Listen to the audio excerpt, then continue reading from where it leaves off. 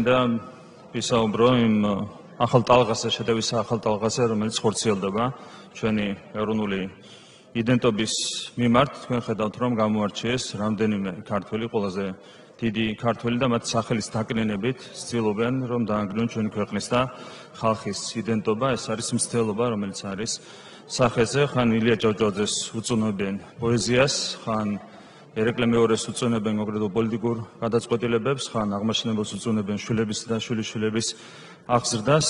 აქ ხედავთ, რომ არიან ადამიანები, რომლებიც ასრულებენ ერთგვარი ყინულმჭრელის როლს, ესენი არიან პირველ რიგში ძმები ბერძენიშვილები, რომლებსაც აქვთ გამორჩეული ზიზღი ქართული ხალხის და ქვეყნის მიმართ, საიდან უმდინარეობს ეს ზიზღი, არ ვიცით, მაგრამ ეს არის სამწუხარო ფაქტი.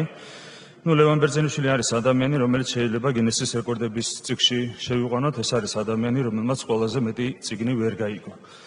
თუმცა ეს ვიტყვი რომ არ არის უბრალოდ ერთი ზიზღით გამშვალული ადამიანის უსამშობლო და უღმერთო კაცის რაღაც უღმართებული საუბარი.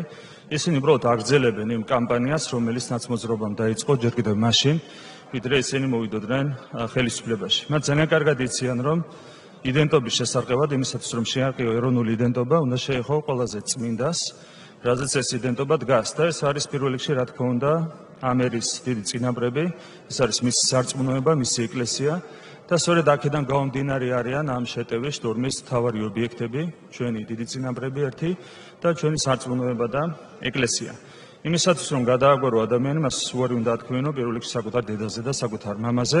ეს მათი იციან და ძალიან მარტივია შესაბამისად მათი სტრატეგია მათი შეტევის სტრატეგია ჩვენი ეროვნული იდენტობის წინააღმდეგ. ეს არის ძელი ამ სტრატეგიის შინაარსი ისინი ებძვიან ჩვენი ქვეყნის და ჩვენი ერის ფესვებს და ნაცმოძრაობა ყველამ ვიცით რომ არის კოლექტიური დოქსოპულო კოლექტიური გიგლა ბერბიჭაშვილი.